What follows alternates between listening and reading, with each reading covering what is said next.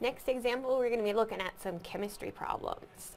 So there's a chemist and he has one solution that's 80% acid and another solution that's weaker. It's only 30% acid. What is needed is a 200 liter solution that is 62% acid. So the chemist will prepare it by mixing the two solutions. How much of each should be used?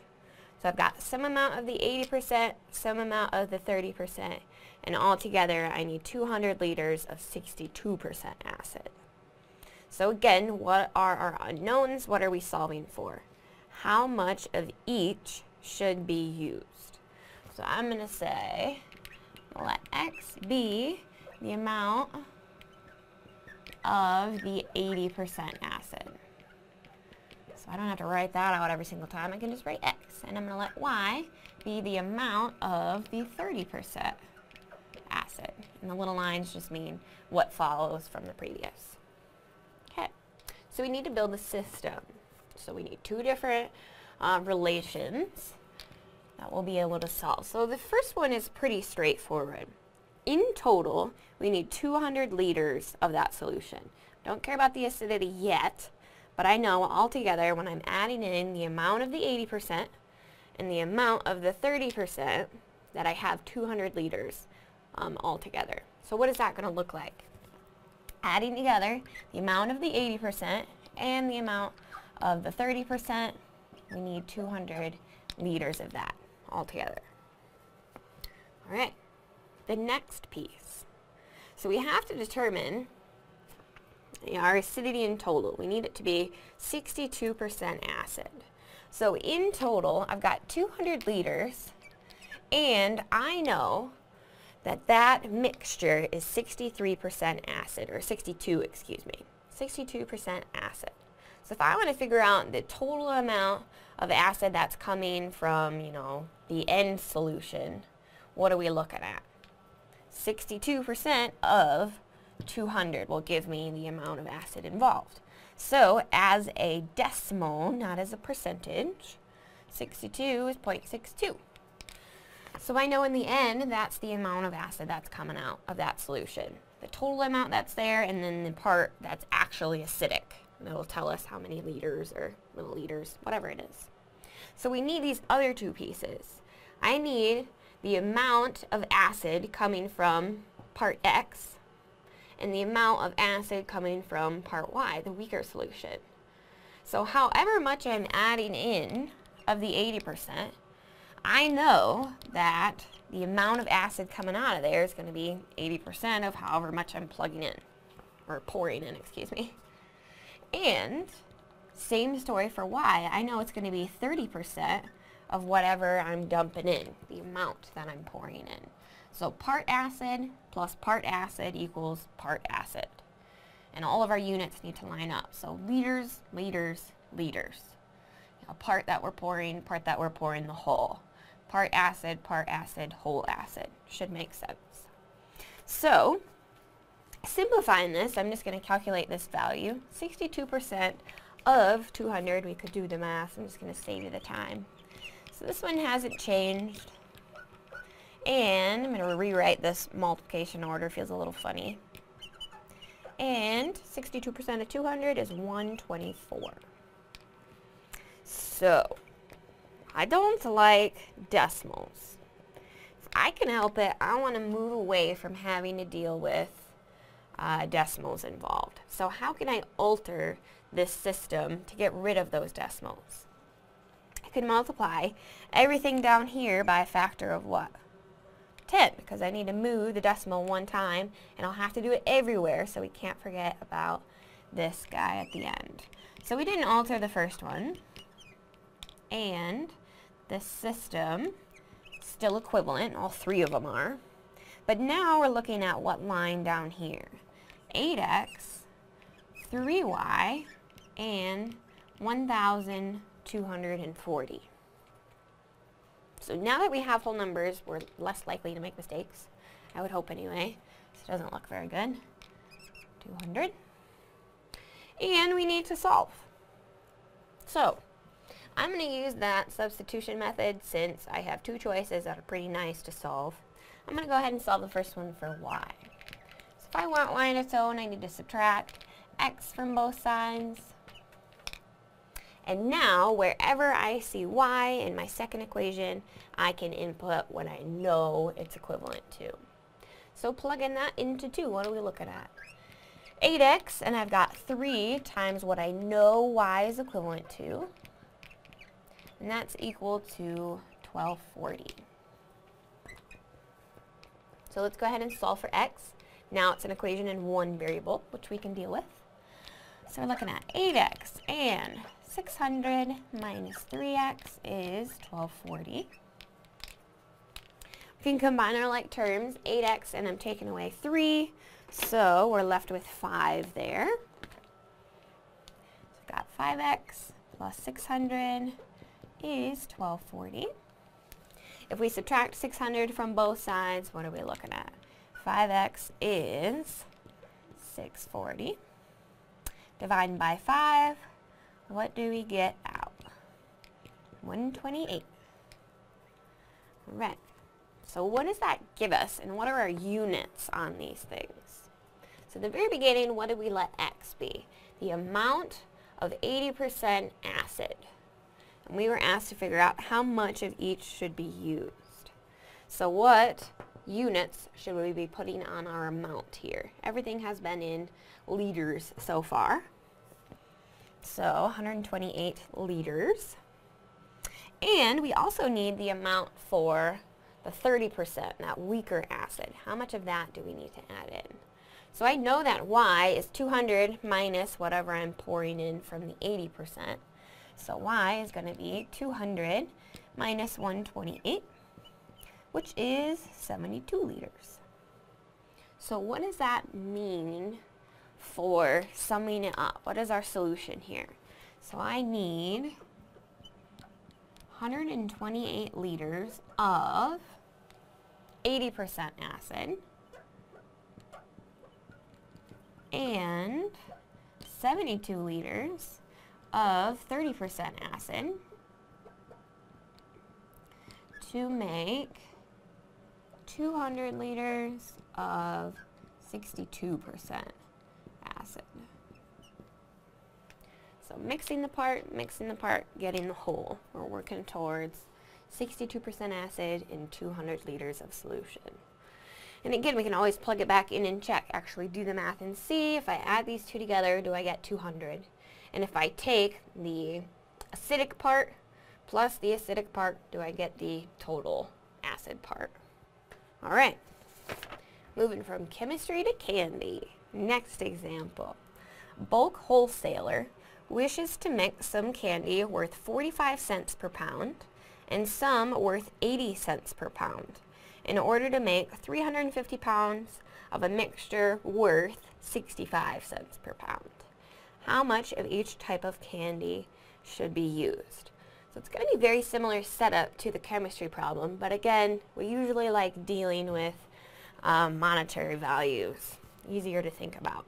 So what are we being asked to find? How much of each type of candy should be used? So again, assign variables to your unknown. I'm going to let x be the amount of the 45 cent candy and y be the 80 cent candy amount. All right. And we're going to keep those units in cents. So if I keep 80 cents as it stands as a whole number instead of dealing with the decimal, the rest of the units also have to be in cents. We can't mix between um, whole number, you know, dollar values. Keeping it as 0.45 is different than working with 45 cents in equation-wise. So, building an equation. What are we looking at? We need a system. So altogether, I want 350 pounds of a mixture. So what I'm pouring in from the 45 cent, what I'm pouring in from the 80 cent, together I want 350 pounds of it. So what's coming from X and what's coming from Y all together needs to give me 350 pounds. And we want to talk about uh, the total price. So the total price of the 45 cent, total price of the 80 cent, and then the total price of the 350 pound mixture in the end. So if I have 350 pounds and the price per pound for that guy is 65 cents, if I multiply 350 by 65, that'll give me the total amount in cents of the mixture in the end. And how do we get to that total mixture? I have the total price of what I'm adding from X, so 45 cents times however many pounds I'm taking from that pile. And I'm adding to it 80 cents per pound of what I'm adding from that other pile. So total price plus total price equals total price. Check. Amount plus amount equals total amount. Check. All of our units have to line up. If they don't, you know you made a mistake somewhere in that setup. Alright, so have a few different choices. You can go whichever route you desire. I'm going to go ahead and do elimination just to get practice with both of them again. We've used substitution in the past few. And I'm going to get rid of x. So, if I want to get rid of x, I'm going to multiply this top one by a factor of negative 45. And the resulting system, still equivalent, but different looking, is going to be negative 45x, negative 45y, and negative 15, 750. And nothing changed down here. 45x, 80y, 22, 750 when we multiply those together. So when we add those two systems, we design the x's to go away. They're going to be gone. We're left with 35 y's and 7,000. So when we do that division, divide it by 35, what are we looking at? y is going to be equal to 200. And since we know y is 200, we can go ahead and solve for x as well. Then we'll give them some units and sum it up. So I know together, when I'm adding 200 pounds, might as well just put the units on it now, since we're dealing with amounts, 200 pounds of the 80 cent and how many pounds of the 45 cent will give me 350 altogether. So x is going to be 350 minus what I know y is equivalent to. And I know I'm using 200 pounds from that pile. So we're left with 150. So, summing it up, what do we need? We need 200 pounds of, which one did we assign that to? 80 cent candy. And 150 pounds of the 45 cent candy to make 350 pounds of 65 cent candy. All right. And again, we could double check. Adding those amounts together, do we get 350? Yes. And then looking at the total price for the amount of X that we used, total price of the amount of Y that we used, if we add those together, is that our total price that we're charging in the end? Very last example, again, is dealing with monetary values, and we're talking about a copy center. So a student assistant at the University Copy Center has some nickels and dimes to use for change when students make copies. The value of the coins altogether is 740. There are 26 more dimes than nickels. How many of each coin are there? So again, that last line, how many of each kind of coin are there? So let's assign variables to our unknowns. I'm going to let n be the number of, what do you think, nickels? And d be the number of dimes. Alright, so we need to build a system. This one's a little bit different than what we've seen, but nothing we can't handle. So the first piece. Not going to deal with the total amount yet. I'm going to look at that second to last line. There are 26 more dimes Then there are nickels. 26 more dimes than nickels. So my first question is, do I have more dimes or do I have more nickels? 26 more dimes. So my dimes are going to be more than my nickels. So if we want to set up an equation stating that, my dimes are going to be 26 more than the number of nickels. So I have more dimes, and again, 26 more than nickels. What we're adding it to tells us by that more than piece. All right, so we have one equation, we need another one. The other piece of information that we know is the total price. Altogether, $7.40. So I'm speaking about money in dollars, not in cents. 740.